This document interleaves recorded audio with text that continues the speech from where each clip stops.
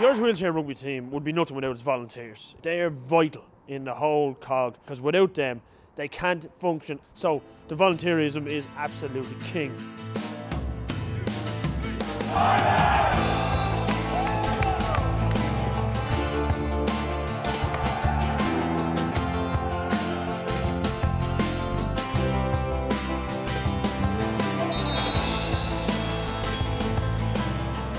Well, how I got involved in the Irish wheelchair rugby was a, a very close friend of mine was paralysed some years ago.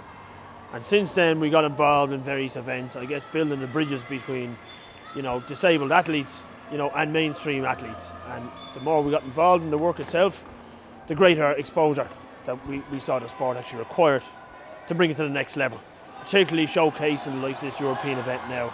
Whereas 10 years ago, getting such a crowd in Gormanston, getting so many young people to meet disability on a sporting level was probably unheard of.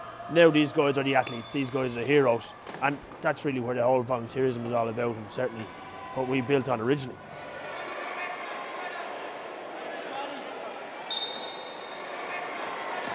Uh, so I started about six months after I had my accident back in 97. Um, so I've been playing basically since then.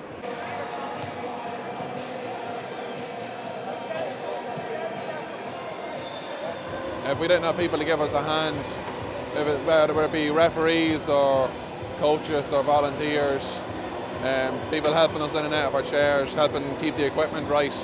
Like uh, the, the, it's a high attrition sport for the chairs, so there's always something to get fixed, like you know. So it means when we're finished playing the game, we can go and chill out and get something to eat or whatever, and staff can fix the chairs. And you know, like I say, without them, we couldn't play.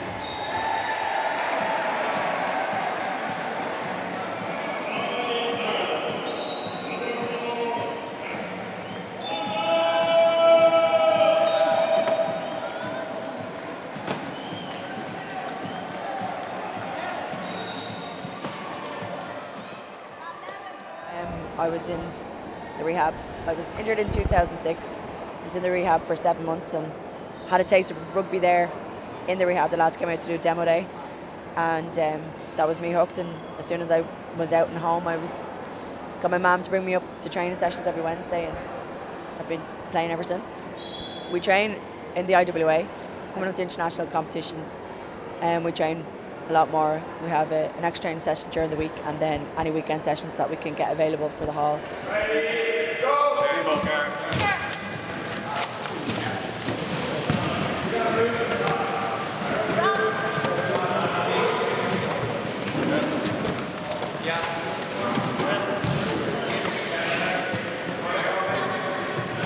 If we don't have the volunteers, we can't compete in the sport. We can't train every week they're a necessity to the sport. Come on, Ireland!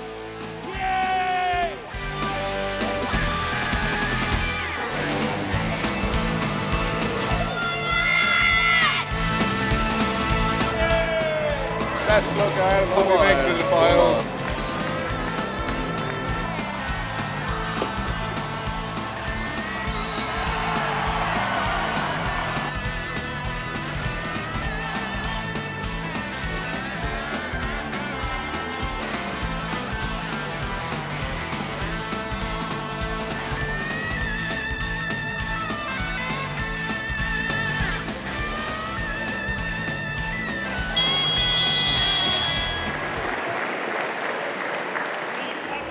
Struggled for a long time with small numbers, but it's great now with the crowds training and then to have to be able to host a, an international event like this is super. 1997 we started it, so since then really, I know in, early on we played in our day chairs, so whether you call that rugby I don't know, but um, as we went along we got the right chairs.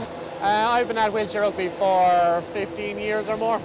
I think back in 97 I think I started, so I'm one of the old heads at the Irish wheelchair rugby now compared to where we started back in the day, it was just ourselves pushing around the hall.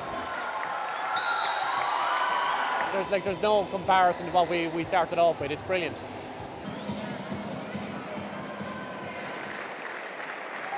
Um, I used to be a personal assistant with the Irish Wheelchair Association, so that's how I got into it. I've made a lot of friends over the years, both uh, in the Irish team and abroad. Friends all over the world from uh, staff from other teams and players from other teams. Personally, it's great just to meet a great gang of people who are so close together.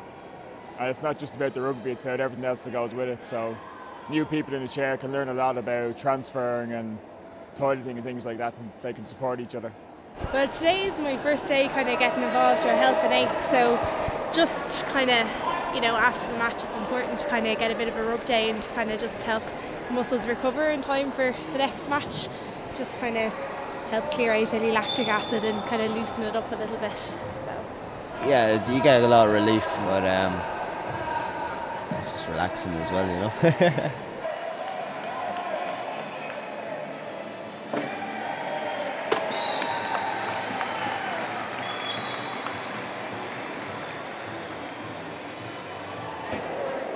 Hi, I'm John Bishop. I'm president of the International Wheelchair Rugby Federation.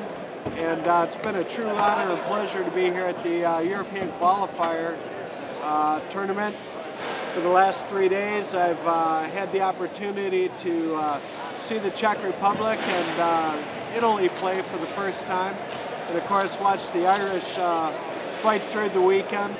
I've traveled the world and attended rugby tournaments throughout the world as well. And uh, the, the, the, the, volunteers that put everything together here from the uh, transportation people to the people that provided the meals to the uh, volunteers working around the gymnasium. It has been superb. And uh, the icing on the cake, as we say in the United States, has been the fan base that was here throughout the weekend. I feel is the most exciting sport on four wheels. Um, we don't always get great camp participation, but here in Ireland it was amazing. And uh, on behalf of the IWF, I want to say thank you, a sincere thank you. Fantastic job. Uh, what I get out of this is is is, is friendship. Um, I suppose number one. Number two is I guess it's a journey. You know, has that journey got a final destination? I don't know like what we're building towards now is to launch a platform whereas in years to come we can look around and have Paralympic sports in Ireland as showcased as our mainstream sports and our athletes be recognised as such, you know, and being just as good as, you know, the athletes we have competing in the mainstream Olympics and once we get to that level, then I guess we'll be certainly a long way along the road, but that's the goal.